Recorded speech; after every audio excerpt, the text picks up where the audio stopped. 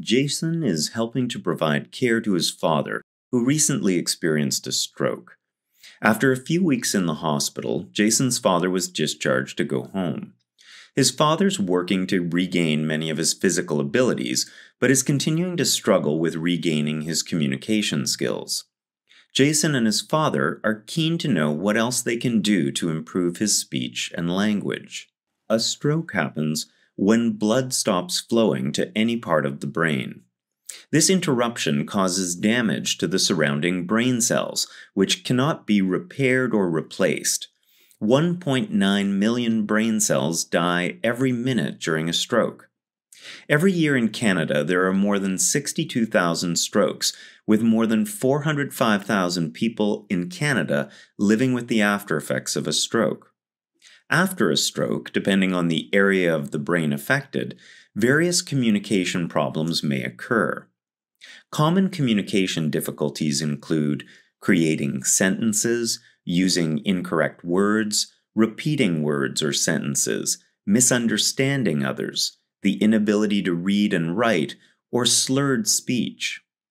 Typical communication difficulties are often referred to in two categories aphasia, a term given to problems with language expression or comprehension, and dysarthria, a term given to problems with muscles used for speech, which may cause slurred speech or slow speech. We've asked Dr. Wes Oczkowski to talk about regaining language after stroke and what the research says about speech language therapy.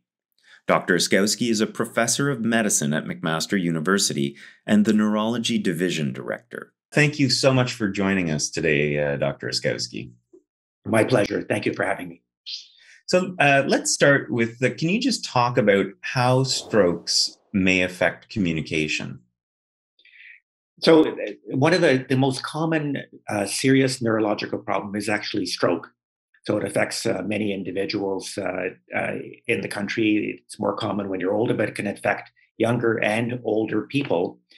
Uh, the brain is um, is divided into specific uh, parts that do specific things, and in human beings, most people, uh, their language centers, their ability to understand and their ability to express themselves, is situated in the left side of the brain. And depending on uh, what type of stroke someone has and what part of the brain it involves, it may involve their language centers. So, in other words, uh, including some weakness or some numbness or problems with other parts of the brain function, a person may have a language disturbance. And that happens quite commonly. Uh, probably in half of everybody who has a stroke, there will have some language disturbance. And those will be very obvious in terms of being able to express yourself or being able to understand. What are some of the treatment approaches for communication challenges after stroke? Treating language problems or aphasia is um, very challenging. It's much more obvious when we see somebody who's had a stroke who has a weakness involved in an arm or a leg, where you can actually manipulate the arm and the leg and see how it moves and how it recovers. Language, the ability to understand, the ability to express yourself, is very complex and that you can't, the person helping someone with a language problem can't actually see the problem directly. They have to be able to um, assess its the difficulties by um, listening to the individual, getting the individual to try to talk, to test the individual, how they understand, um, and those things are more challenging than dealing with what I would consider is much more simple weakness problem after a stroke. The first step in dealing with um, a language problem or aphasia after stroke is to understand what the problem is. And the injury to the brain in everybody will be slightly different. And how somebody has and what kind of problems they have will be different from person to person. The first step the therapist needs to understand is to do an analysis, an understanding of is the problem difficulty understanding what somebody says?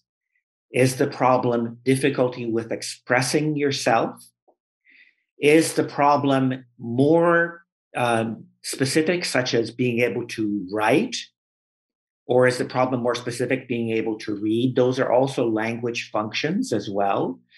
So the first step a therapist does is to identify what the problem is, to be able to then to say, this is what we're going to work on.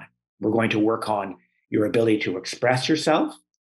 Is the ability to express yourself a, a difficulty with finding words, finding sentences, controlling your mouth or your tongue? Or is it ability to un- difficulty in understanding? So it is an ability to understand people talking, more than one person talking to you? Is it difficulty understanding written language or is it just verbal language? So the first step in any type of approach to helping somebody with aphasia is to understand exactly what the problems are. And and would that assessment typically be done by uh, a speech language pathologist or speech language therapist, or are there other um, types of therapists that would be involved in that type of assessment? So the primary assessment, the detailed assessment, would be by a speech language therapist. That those are the individuals who have trained and are skilled in in doing that. Um, speech language uh, therapists have assistants that can actually help them once they understand what the difficulty is and once they have a therapeutic plan. Once the therapeutic plan is in place, there's sometimes assistance, and assistance can actually include trained family members and or other individuals who work with the with the patient themselves to then work on their their treatment plan. And and when would that type of assessment typically happen? Would it happen, you know, within a short period of time after a stroke uh, if somebody's still in hospital or does it usually is there usually a waiting period around that type of assessment?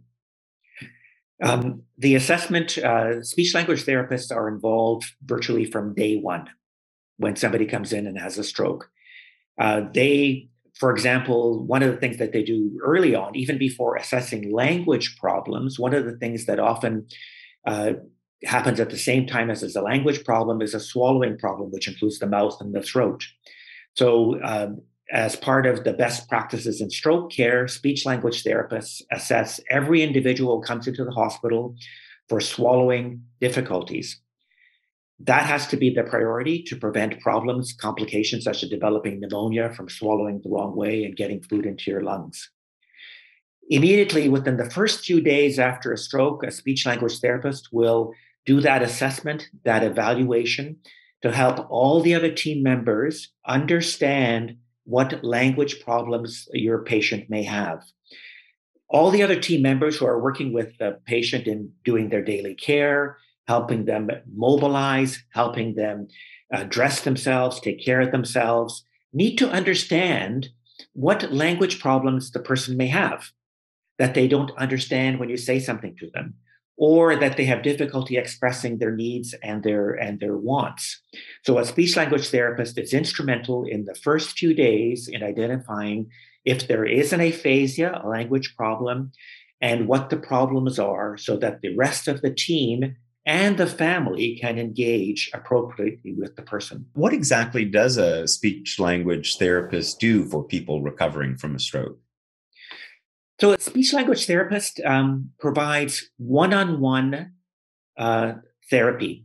So, in other words, the patient and the speech language therapist sit together and are engaged on a one to one approach. And as I said earlier, the first step is the speech therapist does testing. And the testing is to look at what is the problem? Is my patient with me? Are they having difficulty manipulating their tongue and their mouth? And it's a problem with slurred speech or something called dysarthria? Or when I test them, are they having difficulty understanding what I'm asking them? Are they having difficulty understanding words or sentences or complex ideas. On the other side, does the person have difficulty expressing simple words, complex sentences, or complex thoughts? First step is to sit on a one to one basis and to identify what the problems are. Then the next step is on a regular basis, And this is with as much intensity as appropriate. The therapist addresses those specific problems. So, for example, if it's comprehension or understanding, or expression or talking, and the therapist will engage the individual in trying to enhance their ability to do those things correctly or understand things correctly. They will start with simple approaches and build on those on a regular basis into complex therapies. Complex, for example, um, saying more complex words or complex sentences, being able to understand sim- simple words or simple or complex sentences. The therapist does that on a regular basis. The recommendation is, is actually quite intensive therapy, an hour every day, five days a week to start uh, after a stroke for up to the first four to six weeks would be the recommendation by the best practice guidelines. And is it also the case that it's it's sort of not only intense, but uh, the sooner the better. You mentioned the the speech language therapist getting to do the swallowing assessment up front, but is it also recommended that the speech language therapy for supporting language would also be early and often? Yes, we believe so. Uh, the reason we believe so is that, for example, um, most of the um, the literature or the science of recovery after a stroke is based on recovery of arm and leg power and function because again it's a much simpler easier to see how things improve. And when we intervene we see how they respond. Language um, there is no reason to think that language did not behave the same way. So recovery from language. When somebody has a stroke there will be the early day or two where the brain will automatically there'll be a healing an early healing but then after that, we know that the bulk of the recovery of function and the bulk of the ability to intervene in helping recovery of function overall in stroke is within the first three months. Therefore, if we're going to make a big difference in enhancing recovery, that needs to occur early, first few days, first few weeks, and the first few months. Having said that, though, there was a there was a theory in the past that, in fact, if someone had a, a language problem that was still there at six months, or if it was there still at one year, that was what they were going to have forever. That's not true. The recovery we see happens very rapidly over the first three to six months. That's the time to intervene as aggressively as possible to help help recover in a better way, in a more profound way. However, we also know that ongoing therapy and ongoing practice by the patient themselves will continue to show recovery more than a year out, even two years out, even three years out for such complex brain functions such as language. You mentioned some of the research and evidence. Uh, there's maybe more evidence around some of the motor recovery, but um, can you talk about some of the research evidence uh, on, that supports the use of uh, speech language therapy uh, as a post stroke uh, communication recovery tool? So there, so people have done um, research studies or things called trials or scientific experiments where they look at providing people with speech language therapy at a certain intensity or much more or much less, looking at providing the therapy early on or later on, providing the therapy in a targeted way, one way, or in a different way. And overall, when you look at the totality, the bulk of all this scientific research, it's very clear, and I think there would be no debate that if you provide speech therapy and you get a speech language therapist involved with someone after a stroke, they do better than someone who you leave on their own and hope that they will improve. It's also very clear from looking at the speech recovery therapy um, after a stroke and all the other therapies that we, we introduce for recovery after a stroke that applying that early makes a difference compared to applying that late. how would you approach uh, uh, helping out uh, Jason and his father with respect to his communication recovery after stroke? So it's um, it's not unusual that um, there are many. A stroke can affect many functions that somebody has. Uh, for example, uh, being able to walk, being able to use your arm and your hand. And what we're talking about today is being able to communicate, to use your language effectively. Um, early on after a stroke, uh, what people see as priorities for themselves and what families see can be very different. So that very early after a stroke, the priority may be actually getting up and getting out of bed and being able to walk around. The priority early on may be to use your hand and your arm and your hands and your arms to get yourself dressed and take care of yourself. But it becomes um, then the priorities change, and I'm not surprised that in Jason's uh, dad's case, that in fact the language problem uh, comes out as a very top priority maybe later on than earlier on after all those other basic functions have have recovered and become more independent. Uh, being able to understand being able to communicate is so human important and so an important human function such such an important thing that makes us us to be able to sit with your family, to be able to sit with your friends, to be able to have a discussion, to be able to enjoy people's company invo- in, is important for us to be able to understand them and be able to important for us to express what we are, what, we, what our thoughts are. So what I would say to, to Jason and his, and his family is that it's very important that one is they never give up because we do know that in the long term, even after the early rapid recovery, there's continued improvement over time, that most aphasia language problems continue to get better. How do they get better? Listen to your speech language therapist. Follow their directions in terms of therapy that you do specifically that they've recommended. The other part that's crucial is continued engagement, family, friends, the person with the stroke, continued encouragement to be able to express themselves, to understand, to relearn those functions that they lost after the stroke.